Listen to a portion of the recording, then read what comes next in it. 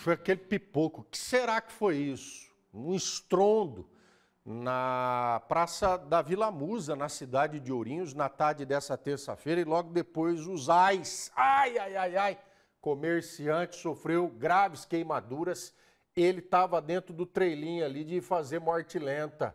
Fernando Garcia, a última informação que eu tinha era de que precisava ser transferido para uma unidade de referência em queimados que a gente possui aqui no Hospital Estadual em Bauru, né?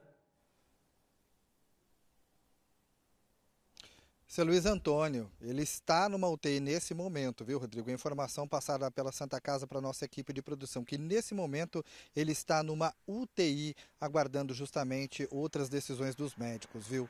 Aconteceu tudo ontem à tarde ali na Caló, na Praça da Vila Musa, mais ou menos umas três e meia da tarde, estava ele e o filho, eles estavam do lado de fora, sentiram um cheiro forte de gás lá dentro, o pai entrou para resolver, o que está vazando aqui, oh meu Deus, foi quando exatamente aconteceu esta explosão.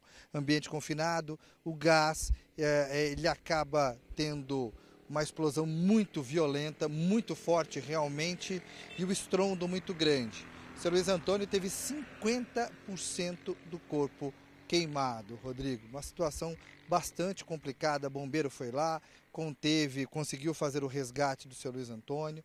Ele foi levado para a Santa Casa, conseguiram também conter o vazamento. E o trailer, que é o ganha-pão, ficou completamente destruído ali na parte interna.